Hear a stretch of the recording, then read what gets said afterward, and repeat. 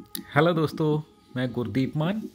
आज मैं आपके लिए लेकर आया हूँ ब्यूटीफुली बीगल्स पपीज़ की वीडियो जिनकी एज 60 डेज़ हो चुकी है और इनको टू वैक्सीनेशन हो चुकी हैं वन पपी डीपी और सेकंड सेवन इन वन की।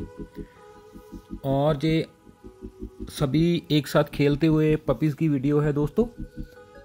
और ये बहुत ही अच्छी क्वालिटी के पपीज़ हैं, इनका कलर देखना और इनकी बोन साइज़ और टेल का मूव करने का अंदाज, इनके ईयर्स ये बहुत ही अच्छी क्वालिटी के पपीज़ हैं दोस्तों। इनका जो फादर है, वो इटली से इम्पोर्ट हुआ था पहले ऑस्ट्रेलिया और ऑस्ट्रेलिया से आया था इंडिया, जो इनका फादर है।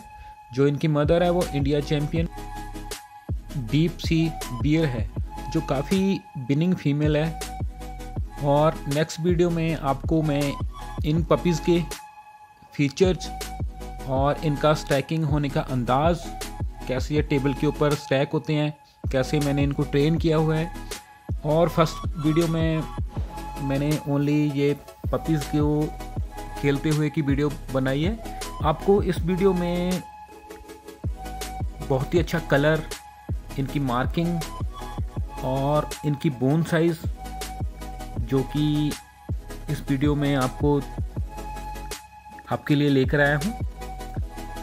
चलो दोस्तों, देख, देखिए लास्ट तक ये वीडियो तो कैसे बाद में ये लेबरेड और फीमेल के साथ खेलते हैं। थैंक यू दोस्तों।